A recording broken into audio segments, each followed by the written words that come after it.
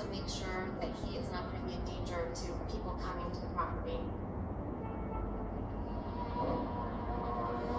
So when I read the sign that says "Love lovable, uh, we are in a oh, home, right?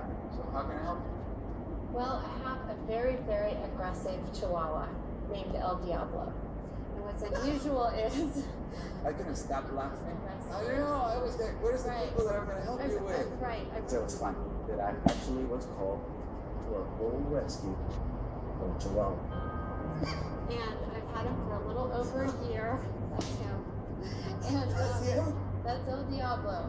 And um, I've had him for just over a year. And I thought that if I did the same thing with Diablo that I did with the other rescue pit bulls I had, he, he definitely dominates all the But also he's teaching right. He does create a lot of um, aggression amongst the other dogs. Blossom always starts barking.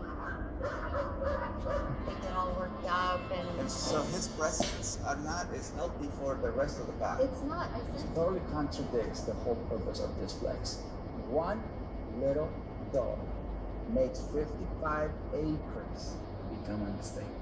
Betsy, I'm not used to dealing with human aggression. So when he lashes out at me or at other people, my instinct is to, to leave him alone, to just let him do his thing. Ah, and if I want affection from a dog, I go to the I'm around all these big dogs, but their energy is lower. I have more knowledge than them because I was. Center is not for guys who are balanced. The center is for dogs who are stable.